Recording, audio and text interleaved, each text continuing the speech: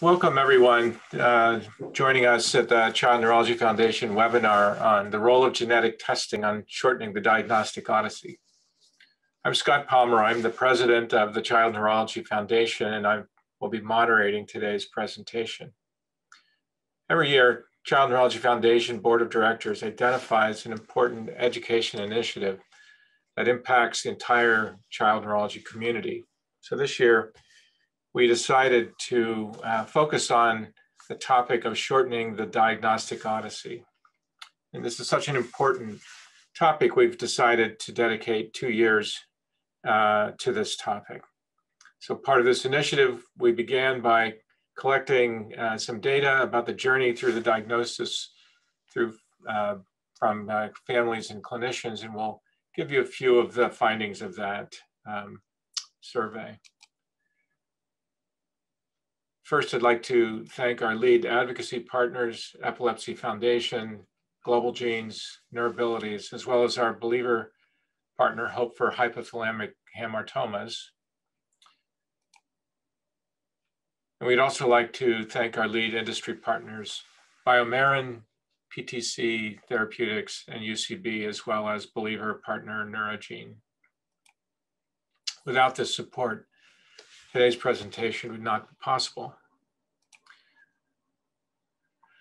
The vision of the foundation is a world where all children affected by neurologic disorders reach their full potential. I was drawn to this organization because it brings together patients and their families, together with physicians and other care providers, to focus on and address issues important to the care of nervous system disease.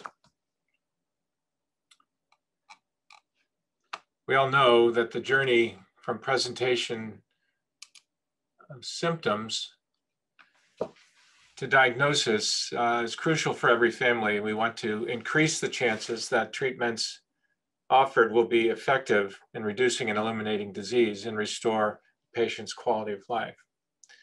To make this journey as short as possible and as error-free as science allows, it's uh, critical that we uh, move uh, forward uh, quickly. Child who suffers without a diagnosis may be deprived not only of their childhood, but the delay of diagnosis can have long-term impact on the child's development and their growth to a happy, uh, healthy, independent adult. So we want to understand how this impacts everyone. And as I said, we conducted uh, surveys to learn more about the diagnostic journey. We had over 300 responses from the Child Neurology Society membership and uh, 30, uh, and, and, we received 1,100 responses from patients uh, and families, caregivers. We learned that families notice symptoms early in life. Over half of the patients who responded, parents who responded to our surveys, noticed their child's symptoms uh, occurred in the first six months of life. And even though symptoms present early, our data further showed that the cause of these symptoms often goes undiagnosed for years. Nearly 50% uh, received uh, primary diagnosis within one year of uh, symptoms emerging. However, a quarter uh, were without a diagnosis even five years late, later, and 10% had to wait as long as 10 years.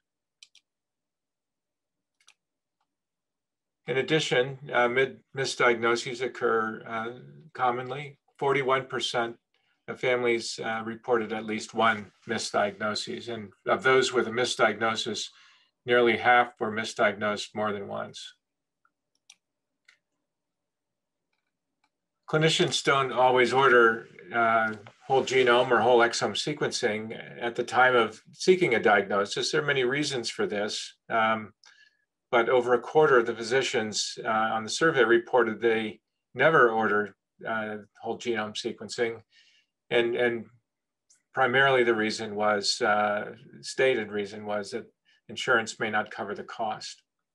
It's a complex problem uh, for certain, uh, and one that um, presents challenges to everyone, patients, parents, and uh, providers alike it's something that we uh, are, are, all uh, working toward uh, resolving.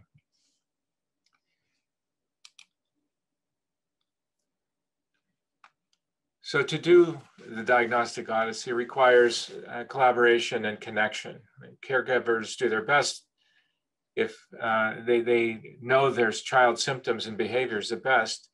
It's not always easy to uh, portray these accurately to the doctors and the doctors uh, need to hear clearly what the issues are. And it's very important that we take time to listen, to empathize, to understand the concerns, and also to understand uh, the symptoms and presenting uh, features that can lead to a diagnosis.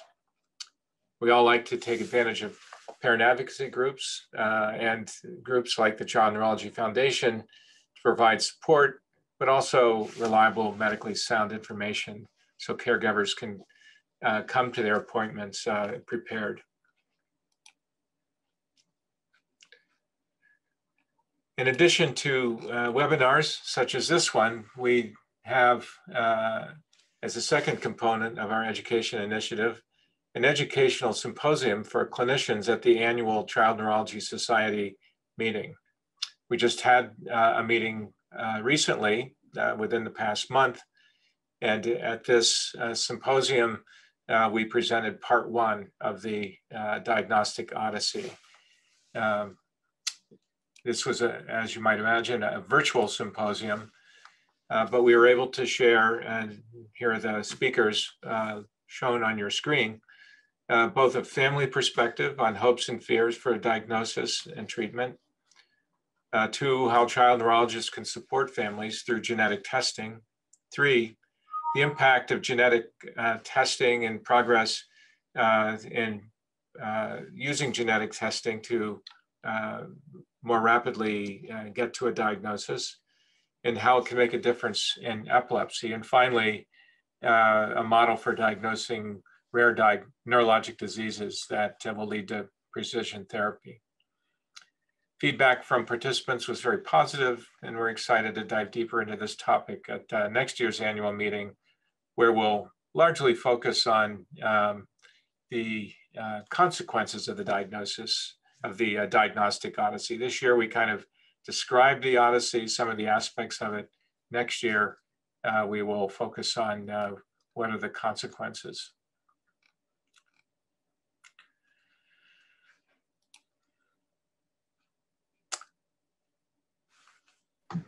So today for the webinar, I'd like to uh, introduce uh, our primary speaker, Sonal Mahida. Sonal is a genetic counselor uh, in the epilepsy genetics program at Boston Children's Hospital. She joined uh, in June 2018. She provides counseling for families in the epilepsy genetic counseling program, as well as the neonatal epilepsy clinic. Sonal received her bachelor's in biology from University of Massachusetts Amherst in 2012, her master's in genetics counseling from University of Maryland in 2014, and then worked at the Kennedy Krieger Institute in the Department of Neurogenetics for four years before coming to Boston Children's Hospital in 2018. So Sonal, uh, take it away and you can get control of the slides. Thank you. What I'm going to be going through today um, is kind of the diagnostic odyssey from um, our perspective in terms of kind of what the types of testing available are, how much does it cost, um, what the benefits are, what uh, families may see as risks and disadvantages, as well as the role of counselors, um, genetic counselors, how we can help you guys to order testing and facilitate. Um, so to kind of start, I was going to go through um, a little bit of a genetics background 101, so to kind of frame the different types of tests that we send. Um, so as we know, we're all made up of billions and billions of cells, um, and all of these cells are chromosomes, which hold our genes and our DNA. So it's basically our DNA is packaged into, into these tightly wound um, figures called chromosomes. And if we unwind our chromosomes, we can find our genes and our DNA, which is made up of these, you know, combination of these four letters, A, C, G, and T. So if we think of the chromosomes, um, this picture is basically in every cell in every part of our body and it directs everything. So kind of, you know, our instruction manual in terms of directing um, our hair color, eye color, you know, things that don't particularly necessarily matter up to how our brain forms, how the heart forms, kidneys, all of that stuff um, is directed by all of our genes on these chromosomes. And if we were to zoom in on all these chromosomes, we still have, you know, tens and thousands of individual genes. So we like to think of these chromosomes as, you know, the chromosome pairs as chapters in our book. And then if we think of all of our genes, you know, we have over 20,000 genes in our genome, and those are kind of like the pages in our book.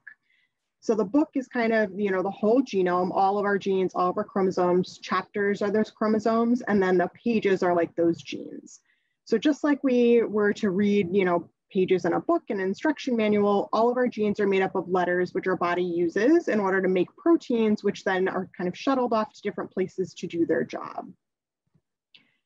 So this shows, um, you know, the first strand up top, DNA strand, um, is, you know, inside of our genes are made up of all these letters, and every three letters codes for a specific building block. So to simplify, you know, the first three letters there, um, ACC, you know, might code for, will code for this here.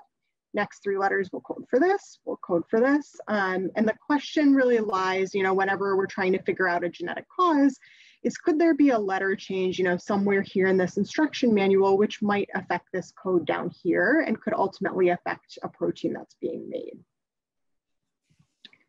So these are examples of kind of the types of changes that we can find. So if we start out with a sentence, as the man saw the dog hit the can, um, if we can take things like what we call point mutations or point variants, um, if we change one single letter, might change the meaning of this sentence. Same thing here, if we delete something, so we delete the word dog, that's gonna change, you know, entirely the meaning of the sentence. Same thing with insertion, we can insert a word here, which might change the meaning, and a frame shift would basically mean that we kind of delete one letter there, um, and that'll change the way that we read these words. So if our body reads things in three letter codes and you take a letter out, one three letter code might be changed um, as you continue on to read that gene and read those instructions. So this is just kind of a brief example of the different types of changes, but there are many, many other types of changes that we can run into as well. So going along that, if we're thinking of our genes as kind of our instruction manuals, there are a lot of different types of genetic tests that can be done. So depending on a child's clinical symptoms, different providers might choose to perform different testing. So it kind of depends um, on what you know your child's symptoms are, any testing they've had done before, um, have they had any symptoms that warrant, you know, maybe not genetic testing, but maybe other labs first and then perform genetic testing. Really depends on, you know, each individual child. The current testing we have available, which I'll go through, um, the microarrays, we have gene panels, single gene testing, whole exome sequencing and then whole genome sequencing. And whole genome sequencing, which I'll talk a little bit about, is still mostly on a research basis, so not really um, being done clinically quite yet. It's still more of on the research basis right now. So this is to just give kind of the scale of variation that we might look at. So if we take any chromosome in particular as an example, this might be chromosome one, and we were to zoom in on this specific section, we can look in that section for what we call copy number variations or things that are deleted or duplicated, so missing or extra information and we could find that on some of the testing, or we could kind of dig a little bit deeper and go into the letters in that gene and try to figure out, you know, like we were looking at those examples before, is there a letter change somewhere in there? So an A to a C change, a letter missing, a sequence change such as that. So thinking along those lines, if we think of the chromosomal microarray, this looks mostly for missing or extra pieces of DNA or extra pieces of information. So it's like if we were thinking of our chapters and our pages, it's basically going through and saying, does a child have all the chapters and does he, have, he or she have all the pages? They're not looking to see if there are any letters missing or anything misspelled. It's just looking to see if there's anything missing or extra in terms of chapters and pages. Um, this is often done as a first tier test for children with developmental delay and or autism spectrum disorders, um, but a lot of clinics, a lot of you know things are starting to move more towards um, deeper kind of whole exome sequencing as a first line as well. But this tends to be the first line for children who have developmental delay and autism spectrum disorders to try to see if there are any missing or extra pieces there. We also have a lot of specific gene panels. So there's specific gene panels for all of you know the different conditions that you can think of. So um, epilepsy panels, intellectual disability panels, autism, you know, microcephaly, movement disorders. There's a lot of panels um, for other you know specific disorders as well. If there's immune genetics panels, things like that. So if a you know, child might have a specific set of symptoms, we might think about looking at a panel first because they look through a subset of those 20,000 genes rather than looking at all of them. And a lot of times we might be more likely to find an answer there. So they have a faster turnaround, might be a little less expensive um, depending on insurances. So we may start there as well. And then single gene testing, um, it's really only done if a child is suspected to have a specific condition. So if you think, you know, they fit a very, very specific genetic condition, you might look at just one gene out of the 20,000. Um, if a child has symptoms that might fit into, you know, a couple different disorders or 100 different disorders, you know, they have broad picture, then we might go more with panels or use, you know, whole exome sequencing. But if we know a specific condition, this is really where we would start. And then whole exome sequencing, which is becoming more common um, now, is that it looks at all 20,000 genes. So it reads through all the important parts, basically, of all 20,000 genes at once. Um, it's typically done including both parents because if we think of normal variation between, you know, myself and everybody else or, you know, anybody, there's normal variation between different people. So the, the hard part is really ruling out what is normal variation versus what could be a cause. And oftentimes parents can help with that um, because, you know, if a child is half mom, half dad, we can kind of rule out a lot of that normal familial variation to try to find an answer. And right now we can find an answer in up to 40% of kids using whole exome sequencing. Um, that number is increasing, you know, year by year as we learn more about the genes, but there is still a lot of uncertainty as well with results of whole exome sequencing. Um, and these are to kind of show in terms of what we're looking at, um, the depth of what we look at. So genome sequencing, which is still research basis, um, would look at all the parts of our DNA. So our DNA has kind of these green parts called exons, plus these white parts called introns. And, you know, these introns used to be called kind of junk DNA in terms of we didn't really know what it did. We thought it didn't do anything important. Um, now we know that there might be some roles for, for the DNA here to kind of help things over here to be turned on or turned off. But we really don't know what changes in these white regions mean yet. So we really look here in these regions that will code for proteins. But overall, it only makes up, you know, the exome, which are these green parts, only make up about 1% of our DNA. So we still have a lot to learn, um, which is why, you know, we can't find an answer in 100% of our kiddos yet. And then whole genome sequencing, we said, we'll go through all of the parts of the 20,000 genes, not only those kind of important parts of the parts that make proteins. Um, this would also require both parents, um, and it is clinically available, but it's very hard to interpret and tends to be very expensive through insurance, so typically done on a research basis right now. Um, and this is kind of, again, another depiction kind of just showing um, the breadth of what we look at. So whole genome versus an exome, and then a gene panel would be just a little piece of this. So we have different levels that we can look at um, depending on a child's symptoms. Okay. Um, so the possible results from testing, positive, negative, uncertain. I'm not going to get too much in detail about what each of these means because I mention it only because the uncertainty will come into play a little bit later, but it, you know, in general, positive would mean we found a diagnosis, it's definitive. Um, negative would mean we didn't find anything but normal variation. And then uncertain, which I'll talk a little bit more about later, would mean that we, you know, found something we're not really positive whether it's the answer or not. So one question that we get, um, you know, most often, so when we're talking about testing with our families, you know, how much is this test going to cost me? Um, so there's a lot of different ways that it can be billed. So I'll briefly go through the different ways that testing can be billed um, that families can kind of navigate and providers will be able to help you guys navigate. So if we start up top, you know, there's always insurance billing. Um, so many of the labs actually have policies that contract with certain insurance companies and will give you, you know, certain benefits. Um, many labs are in network with every insurance or most insurances. And so that way they're able to bill in network um, and only charge, you know, deductibles, co-pays, co-insurance. And in that way, um, many of the labs are able to, for example, you know, they can do what they call benefits investigation, look into your insurance for you, come back with an out-of-pocket cost, and then discuss your options with you. So that's, you know, things that some of the labs have services for. They have a billing department who might be able to do that. Um, some labs will be contracted with, you know, only state insurances um, in the state that they're in. Some will be contracted with only certain states. So it really depends. Uh, but many labs do have really good policies in terms of, you know, if you send them testing, they're able to discount prices um, or they're able to, you know, get a good price based on being in network with all insurances.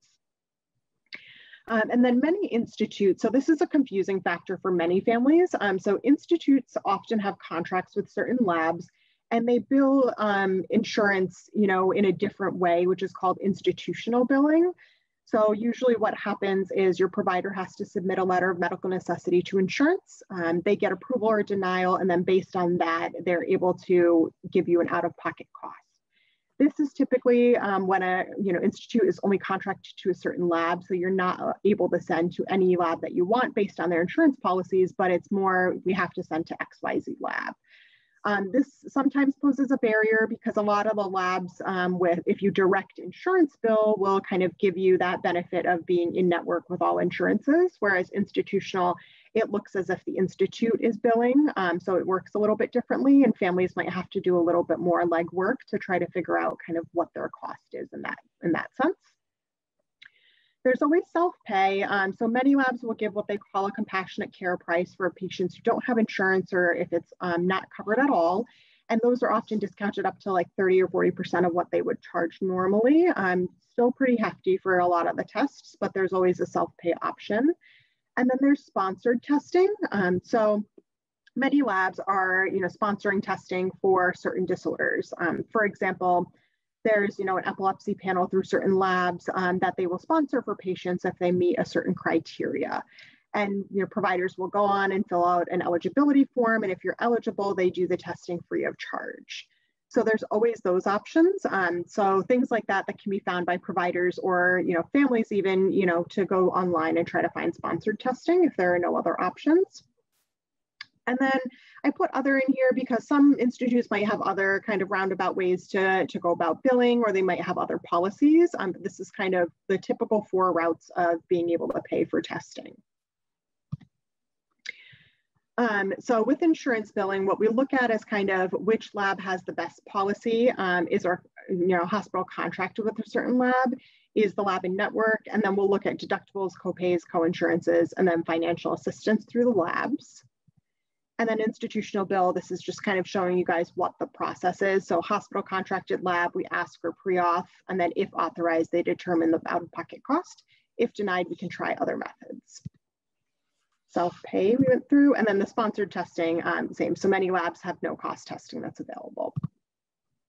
So bottom line for families is don't always assume that the test is too expensive. Um, you know, making sure to ask about all the different options that are available because many times providers can figure out a way to get the testing done. Um, so, you know, if one place tells you the test is $10,000 out of pocket or $5,000 out of pocket, um, you know, not to give up. There are definitely options that are available um, through different labs and through different institutes as well. All right. Um, so aside from that, um, in terms of the diagnostic odyssey, you know, many times when I meet with families, they'll ask me, you know, what is the point of doing this test? Is this going to help my child? Um, are we going to get, you know, medication from this? Are we going to get a treatment? And how will this testing help my family as a whole? So this is a quote from one of our um, patients who had testing done. Um, so, you know, the mom said, you know, because there's not a main form of diagnosis, what we have is a gene sequence to point to.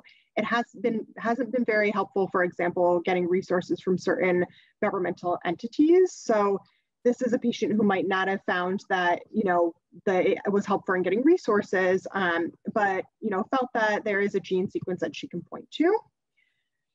So in terms of changes in management, um, we can see changes in medication, um, but a lot of times that's for more, you know, things like epilepsy, where we can see certain genetic uh, causes of epilepsy. We know certain medications work better, for example, or known conditions. Um, you know, example is like Fragile X syndrome is a very, very well-known condition. And if we think about um, kids with ADHD who have Fragile X syndrome, they've actually found that some medications work better than other medications just because of the biology of it. So that's something, you know, that we could find as a change in a medication if they're being managed for something. Um, we also kind of look at screening for other conditions. So if we find an answer, you know, when kids are when they were born, you know, were defects found, were kidney defects found? Are there any other organ systems involved that we might want to look at? Um, if the child is young, um, you know, still in their first 10 years, when children are adults, when they become adults, are there any adults with the same condition and what have they faced, you know, as they get older? Anything else that we should be looking out for? What else can we screen them for? So rather than kind of immediate treatments, these are more along the lines of what we find. Um, with most genetic disorders, immediate treatments right now um, are not, not likely in terms of having a medication that might cure or solve a symptom completely, but management do happen all the time with epilepsy specifically, or with, you know, very, very well-known syndromes that have certain symptoms as, um, you know, certain symptoms that are associated that might be changes in medication for like ADHD or, you know, other, other concerns that they have. The other thing we get out um, of the testing is recurrence risk information. So if a family is thinking about having additional children and we find an answer, we'll be able to tell them, you know, a definitive risk. What is that another child would have the same condition? Um, are the child's siblings at risk? Are the parent siblings at risk? Do they need to be worried about nieces and nephews? Also for the child themselves um, when and if they want to go on to have their own children what is their risk and how can they kind of you know mitigate that? Um, are they able to do any testing? And then the extended family you know aunts uncles cousins as well. So we can often answer this question um, especially if families are thinking of having more kids this becomes more important to try to figure out and let them know what their options are at that point. And then prognosis. So like we said you know are there other children with the same genetic disorder, what can we learn from them? Um, you know, if a child has seizures, will seizures get worse, better? Is there, you know, any evidence that most children grow out of their seizures by a certain age? Um, is there any evidence that, you know, they don't grow out of seizures and they might need medication long term? Is there anything that might limit life expectancy or should we expect other health issues to come up? So a lot of information about prognosis can be found. Um, I want to caution this with saying, you know, the rare disorders, we might not be able to give this much information, but if we're, you know, can find at least a couple other children or even 10 children who have the same, you know, genetic disorder, we can often give you at least a little bit of information. And then access to services. So um, oftentimes genetic diagnoses can help patients gain access to services. So um, government-based services, so Medicaid, and then therapies. So a lot of um, you know children will be be eligible for additional services. So ABA, speech, occupational, their school you know education plan might change based on what we find if they're at risk for something else, or we find out you know many children with this specific genetic disorder have been shown to learn one way or the other. And then kind of one of the most important things is psychosocial and other support. So how can we help you connect with other families, get involved in foundations, um, you know, self care, being able to connect with other parents, being able to connect with other children. Um, and then a lot of our families have told us that finding an answer provides closure. Um, and for a lot of moms and dads, alleviation of guilt and blame. So many parents um, will say, you know, was there this one incident that did this, you know, cause the autism spectrum disorder to happen? Or did this cause my child's epilepsy to happen? You know, they fell off the bed or this happened or that happened when they were younger. But if we know that there is a defined genetic cause, you know, we can tell you that it definitely wasn't that kind of single event that happened that would have caused their symptoms. There really was something there kind of from the beginning that was a genetic change. All right, so along with kind of looking at um, how the testing would help individuals, we can also look at, you know, patients will ask us all the time, you know, will, are there any risks to the testing? Are there any barriers? Um, will it harm my child or family in any way? So for this, um, I'm going through more of kind of perceived risks and barriers of testing because in general, genetic testing doesn't have a solid, you know, risk to a child because it involves a blood draw or cheek swab.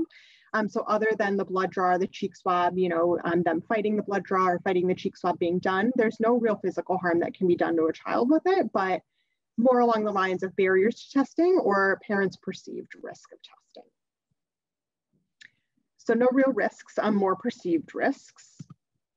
the biggest barrier is the cost. Um, so some insurance companies will not approve genetic testing and they will not pay for it. So they might be out of network with labs, might have high deductible plans. Um, so this tends to be our, our biggest barrier is saying, even if we go through the best process that we have available, um, we're still not able to do the testing because the out of pocket actually ended up being too high for our family. And this is when we might turn to looking for sponsored testing or seeing if there's a discounted price, but oftentimes it also just kind of, you know, pervades in that we can't find a lower cost for a family. Um, so this is kind of showing you, you know, the main reasons why people might not be able to get testing. So geographical barrier, um, there might not be access to clinics or, you know, individuals who are comfortable ordering the testing. Genetic testing can be really complex. Um, so if we're thinking about, you know, providers who might not be, feel comfortable ordering or interpreting the results of testing and families aren't able to find somewhere that's within, you know, a distance that they're able to go um, to be able to see a provider. Individuals don't meet criteria, so insurance has criteria, um, as well as some, you know, centers, some institutes will have strict criteria in who they order genetic testing for. Prohibitive cost, um, patients fail to be referred, so many providers, pediatricians, um, you know, won't refer a patient to a facility or a clinic that they can get genetic testing in um, or the genetic testing is offered too late, so kind of along the same grounds. And then limited access to genetic counselors. So, um, you know, we kind of serve as liaisons between medical providers and the genetic testing. Um, so if you are not able to see a genetic counselor, oftentimes the testing can be limited.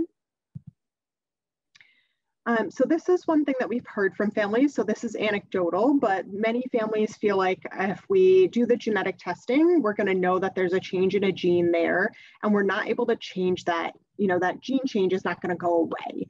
So we feel like we're putting our child in a box. If we figure out that there is a genetic disorder, then we think, you know, we might think they won't improve in their skills, or they won't get over, um, you know, they won't grow out of their seizures, or they won't get over their challenges that they're having now but you know we make sure um, when we're seeing families that we you know there's no box that we can ever put a child in based on symptoms that are found. So every syndrome will have a list of symptoms. Not every child will fit into those symptoms. So they still have you know one gene is changed but we still have 19,999 other genes that are working. And we never want that genetic diagnosis to limit your child. It's more providing you information on what else could you know come up or how can we help them reach their full potential um, the psychosocial risk is a big thing that we hear from families. So dealing with uncertainty, um, which brings us back to kind of the possible results of the testing. So there are these uh, changes called variants of uncertain significance that can be found more often than not on this testing. So oftentimes we tell a family we found a change, we're really not sure what it means, and we just kind of have to follow the research for the next couple years or you know 10 years um, to figure out, you know, is this really the cause for your child or not? And a lot of times families feel like that increases a lot of anxiety. Um, and, you know, the only oft, often the only option to figure it out is research. And many families um, don't really want to be involved in the research that they're doing to try to figure these things out. Some families are definitely okay with the research, um, but it is a lot of uncertainty to deal with. And then if we get negative results, a lot of families may feel like they're, you know, they've lost hope in a sense. We've done all the tests that we can do and we've hit a roadblock. But the important thing to remember is really that, you know, genetics changes on a daily basis. So there's never really an end of the road with genetics. We can always kind of reanalyze all the stuff that we've already done for a child. And, you know, in a year, in two years, we might be able to find an answer. But, you know, the reality of where we're at now is that our technology really surpasses our knowledge. So we're trying to catch up as best as we can. And then lastly, just kind of going through what role um, we as genetic counselors play. So how can we help you um, as families navigate the diagnostic odyssey and kind of have better access to all of the tests that are available and also have better access to kind of explanation of results and follow up, things like that. Um, so this is from one of our families. Um, so, you know, this mother said, I think one thing that has been helpful to us is that the genetic counselor we worked with was very accessible because a lot of time when you sit in that initial appointment, they say, do you understand? Do you have any questions? And your head is spinning and you say, I understand, I don't have any questions. Then you go home and your spouse says to you, what about this? And you go, oh, I didn't really think about that. So having that person to be on call is very helpful. Um, so we do like to make ourselves very available to our patients. So that's something that we always hope that we're more, you know, we're very available to you anytime that you have questions via email or phone call. We tend to um, kind of have a fast turnaround time in our departments as to calling patients back. So this is going through um, kind of what all the different aspects that genetic counseling can provide. So some of these things we've talked about in terms of, you know, mode, mode and risk of inheritance, um, what is the age of onset, education and support for families, um, results, potential results, implications of the testing. So we talk a lot more um, about other things also, not just related to the testing, but then will your employment insurance be affected if you have one of these conditions that might be considered pre-existing, things like that communicating with other family members. Um, oftentimes we can facilitate communicating things with extended family if there's something inherited and then psychological aspects. So kind of providing that psychosocial care as well as the educational piece. And this is just another quote. So, um, you know, the genetic counselor is able to lay out the process step by step, break down the information. Um, no provider had ever explained anything in that way before. So this is kind of our role is really to break it down for you guys to be able to um, tell you the information and pieces that are small and digestible and are able to be easily understandable by you know families and other clinicians alike. So, you know, we're often the connection between the doctor and the patient. So we think of ourselves, you know, as medical liaisons, educators, and more. So we can provide um, increased access to testing, but also help navigate that odyssey in terms of figuring out what the cost is, helping you navigate different, you know, insurances, um, help you navigate your options. And the main thing that you know we we do like to um, kind of pride ourselves on is having an informed decision making process. So it's part of our philosophy of genetic counseling is to make sure that you guys have all the information that you need in order to actually make a decision for your child. Do you want, you know, do you want to do the testing for them or do you not? Um, that's really, you know, what we would like to provide for you guys as well as that informed decision making process as well. So this is um, a link where you guys, you know, anybody can go onto the site and find a genetic counselor near them. Um, you can specify, you know, based on your region and then based on what you're trying to look for. So pediatric genetic counselor, neurogenetics counselor, cancer genetic counselor, you can kind of filter it. Um, and now in our more remote world, these telehealth companies are um, very useful. So Grey Genetics, FDNA, um, these are companies that provide telehealth genetic counseling and don't require referrals from doctors often, but they do work with um, MDs within their networks as well to make sure that we're kind of giving you guys appropriate information. Um, most of them are self-pay fixed fee um, for initial and follow-up appointments, but there they are options for some families who are not able to find a provider in their area who can refer them to a genetic counselor. All right, and that's all I have for you guys today. Thank you. Okay, thanks so much, Sonal.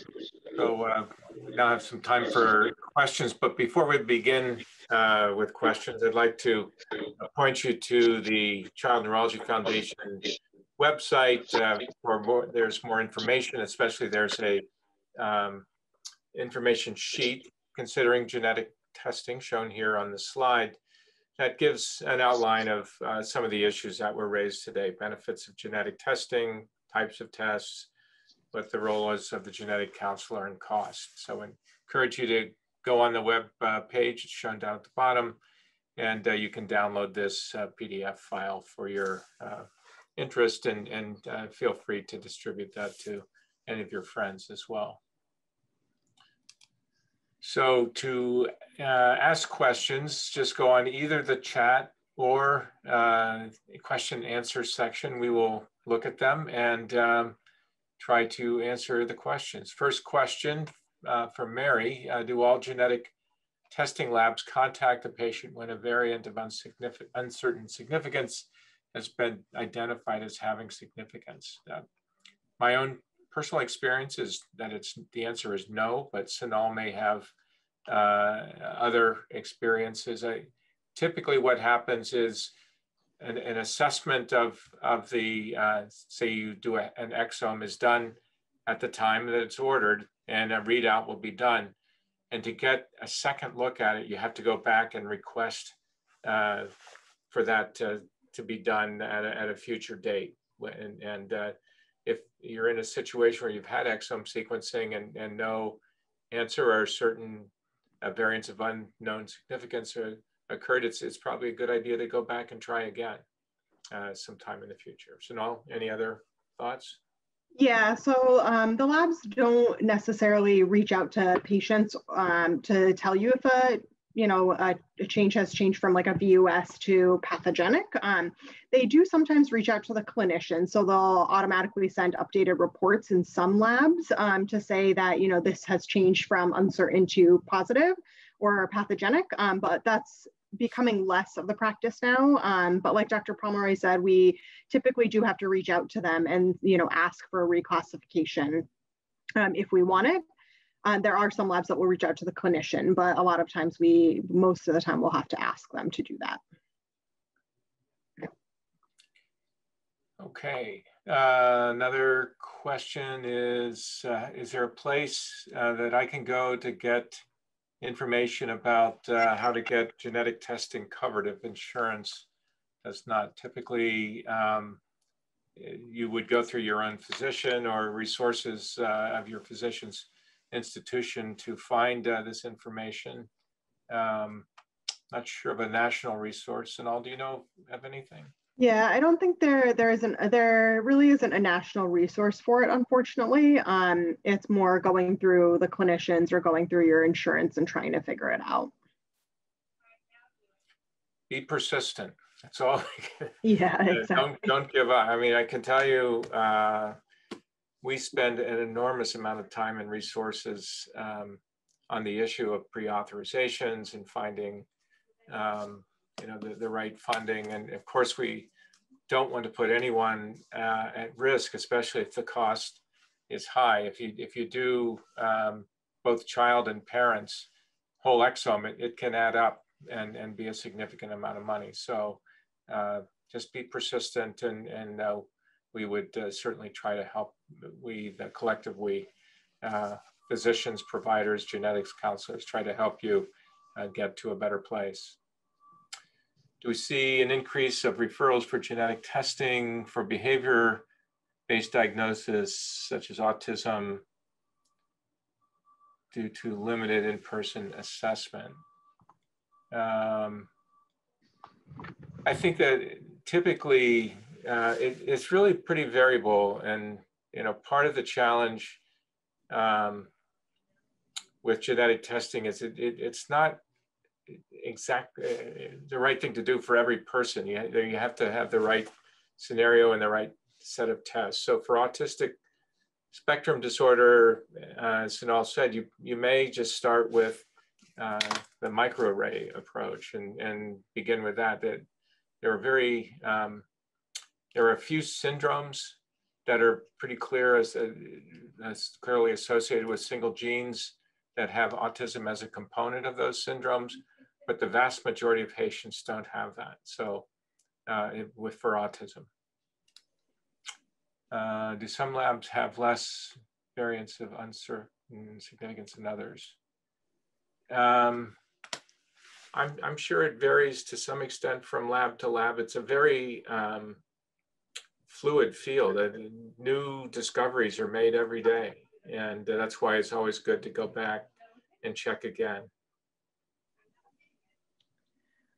Um, so the labs also have like they have they're called they're put out by the American College of Medical Genetics. Their guidelines for interpreting variants. Um, so most labs in the United States are required to follow the standard guidelines for interpreting variants. So now um, we hope that you know variant of uncertain significance is across the board a variant of uncertain significance. But previously labs used to use their own kind of standards, um, and so any reports before you know 2015 2016 they can vary a lot um, in terms of what a lab classifies something as. But where they're trying to now create a standardized um, interpretation system. So most labs should have the same theoretically should have the same uh, classification for each variant but it still might vary a little bit. Um, with older reports it'll definitely vary. So is down syndrome considered a neurological disability? Um, not per se. I mean, Down syndrome um, is a genetic disorder, as, as uh, probably you know, it's trisomy 21. Uh, and, and there's a very variable expression of um, phenotype. Some, some are more affected than others. Uh, intellectual disability can occur uh, in Down syndrome um, and other uh, characteristic features, but it's, it's highly variable.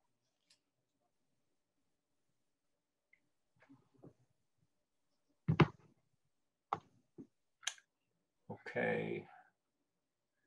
Is there such a thing as a false positive or a false negative? Do labs push those rates? If I choose to self-pay, be interested in knowing those differences. Um, hopefully that doesn't uh, vary so much from lab to lab, as Sunal said. Um, the uh, there's standards of interpretation that apply across labs and and uh, in, in, inherently there may be false positives and negatives, but um, the uh, the standard should should apply across all labs.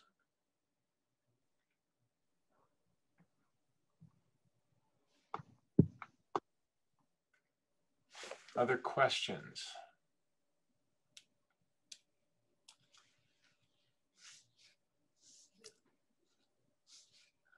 again, as I, I, while people are thinking, um, I'll, I'll emphasize that not every syndrome has a genetic basis. And so, you know, we begin with symptoms that we're trying to sort out as clinicians, trying to understand.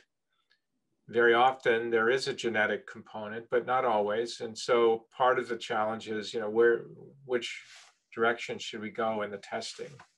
And um, so getting a genetic test is not always the right thing to do at the beginning, but and for those syndromes, those conditions where they're very much is uh, likely a genetic diagnosis, uh, going down the, the path of uh, testing, doing a, a, a very informed uh, set of genetic tests, uh, be it uh, a very focused test if you have a pretty good idea of what the diagnosis is, like uh, with tuberous sclerosis or neurofibromatosis, for instance, you have good clues at the beginning to know what they are. So limited number of testing is test, testing of genes is fine. To a more broad range of testing, if uh, if if it's pretty clear it's a genetic diagnosis, but we don't really know what the answer is. Any more questions?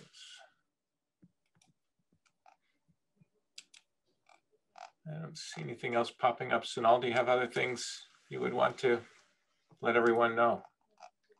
No, I don't think so. Um, just that, you know, not to give up if if you feel like testing is not an option. It usually, um, hopefully, it would be an option if you kind of keep persevering through. Unfortunately, right now, sometimes it has to be the family that does a little bit of the legwork, um, but hopefully that changes in the future, um, but also encourage you to find clinics with genetic counselors. It might make it a little bit easier because that's kind of what we're here for is to kind of help you guys through that, through the Odyssey and to help um, navigate insurance information.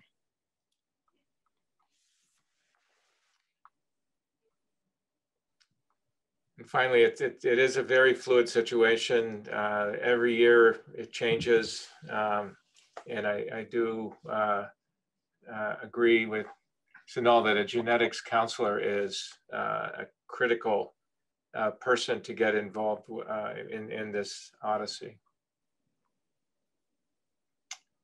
Common to have a long wait to see a genetic counselor. Sonal. Yeah, so that depends on on the the institutes. So, for example, uh, at Boston Children's, if you're you want to see a genetic counselor plus one of our um, MDs, which many of the patients, you know, that's the appropriate referral is to see MD GC team. Um, it can be a long, a pretty long wait. Um, for example, right now, like our team would be booking out into, you know, middle of next year um, at, at a minimum, if not longer than that for that combination.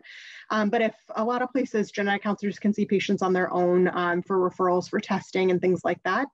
Um, that tends to be less of a wait, but at you know busier institutes, it can definitely be um, a longer wait. So I would say minimum of, of, you know, a month, maximum of up to six months sometimes. So it's a pretty big range depending on what type of an institute you're in.